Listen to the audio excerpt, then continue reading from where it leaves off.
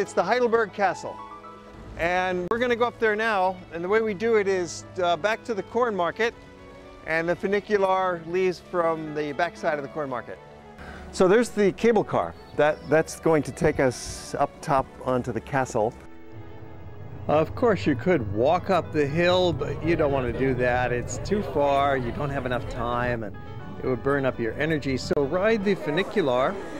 It's very convenient, not expensive, and it brings you up to this all-important visit while you're in Heidelberg. You must come and visit the great Heidelberg Castle. From up here on the castle terrace, you get a fantastic view of the town. It's one of the most beautiful views in the world, looking down at Old Heidelberg. And you can see the old bridge across the Neckar River.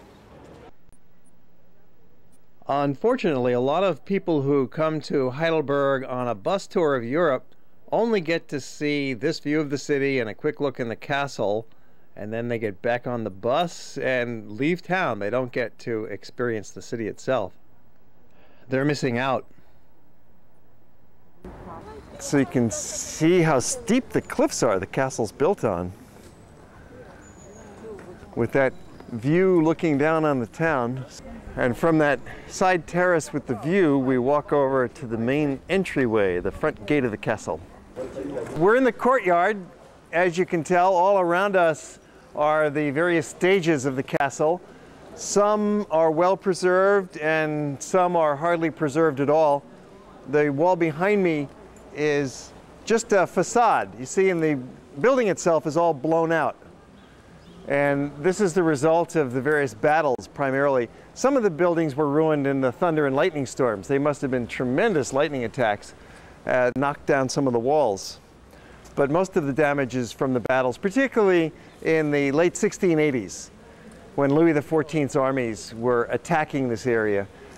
The main building that you're looking at is the Heinrich building, and it was built in the early 1600s.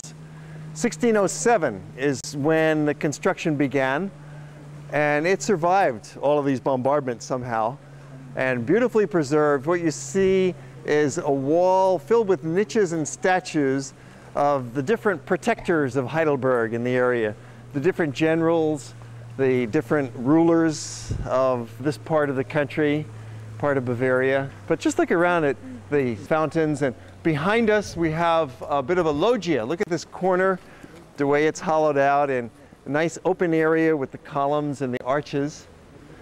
Uh, there's a couple of things that we can go inside to look at here. Uh, there's the largest wine barrel ever made.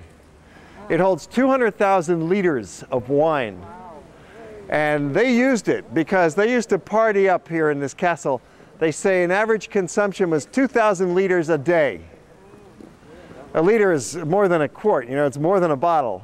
And the total cellars, including the barrel, held 700,000 liters of wine. That would last you for quite a while. And we'll actually go right in that door over there and you'll see the wine barrel. It took 120 big oak trees to build the barrel. And there's a little wine tasting room if anybody wants to sample some of their white wines, it's available. And you get to keep the engraved glass as a souvenir.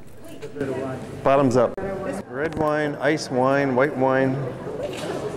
Of course, Germany is more famous for their beer than their wine, but Germans today actually drink more wine than beer.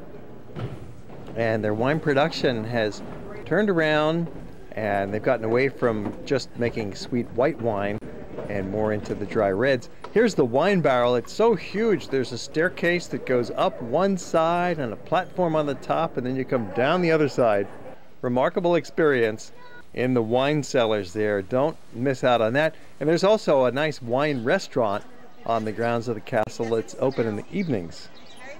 And something else to see is the pharmacy museum. And that's quite nice. Uh, you'll see uh, the old apotheke shop and some of the artifacts that went with it. And so those are all open to us. So you can see that this Heidelberg Castle is one of the world's great fortresses. It's a must-see in Heidelberg. Through the gateway, this is how they kept the bad guys out. Drop those gates down the portcullis and keep everybody out. It's a very impressive guard tower. And once you've seen the castle, then we got to go look at the gardens, which are out the door and to the left. Beautiful garden. It's great for walking and meditating and enjoying nature. You can pose for a shot in front of this statue fountain of a river god.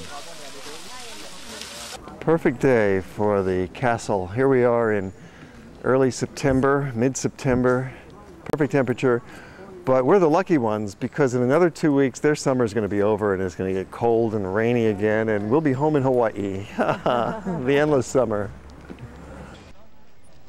These castle gardens were first laid out in the early 1600s and they were very popular and then they fell into disrepair. There's a dry moat that runs around the castle that you can see from the observation wall. And the gardens have been rebuilt in different styles and now they're in the style of an English country garden. The fortified bridge and tower gate lead us back outside of the castle. Now we've finished the Heidelberg Castle and get back on the funicular. Take us back into the town. Only takes about three minutes to ride down the hill in the funicular. Very easy. Better than walking. And here's a tip when you're riding up the funicular to the castle, don't go to the end of the line because that's too far. You'll have to walk back down again towards the castle. So just get off at the castle stop. Now we're back in the heart of the old town and we are going to spend a few minutes with you here walking around and showing you some of these very pleasant little side streets and alleyways. There's restaurants and shops everywhere, of course. And this grand old style of architecture. Most of these buildings date to the early 1700s, reconstructed after the wars with France. So we'll spend a few minutes walking, listening to the sounds of the city. Let's listen to this young lady performing her heart out for the pedestrians walking by on the main street of town haven't been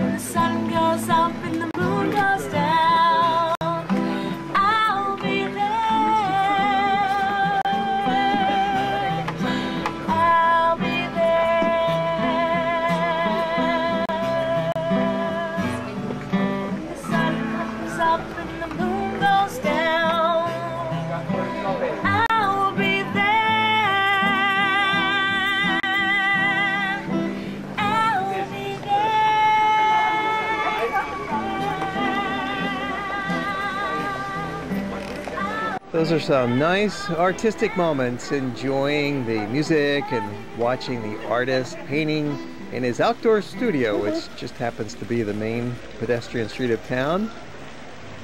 He's a loyal fellow waiting for his master, perhaps finishing a meal or running some errands. Well, now we're taking you on some further strolls in the little back alleys of Heidelberg. This is a university town and many of the students live in this quiet residential section and yet we're just two blocks away from the main square of town. Nice and quiet here and two blocks over you've got more of the restaurants and the bars, the outdoor life of the city. You have a mix of tourists and local residents enjoying their time in these cafes. we're taking you through the cycle of the day. We started out in the morning and through the day with our activities. And now into the evening. It's the cocktail hour. So let's stroll along and check out the action. People kick back enjoying some beer some beverages of different kinds. Conversation with their friends. Just sitting back and enjoying life outdoors on the sidewalks of Heidelberg. It's a nice environment when you're here in the spring and the summer and the fall. Of course, in the winter it would be quite cold, a different scene altogether. Some of the bars have ethnic specialties, the Spanish style tapa bar there. So we're out for a little stroll this evening to check out the restaurant scene. This is the uh, main square of the old town. Twilight is a magical time to be out for a stroll. The lighting is wonderful, the temperature is pleasant. We generally visit here in September, which is a nice time to go. Twilight extends till about 7 p.m. and then it's time for dinner. And dark beer to wash it down. You can have some excellent German food here, of course, or they've got Italian, they have French, they've got pizza. You can eat casually or in a more elegant setting. The Weisser Bock restaurant is one of our favorites. They have got some excellent dishes. We'll take you back here a couple of times during the program, night and day, to point this place out. It's just a few blocks off of the main square. Excellent food and very good service.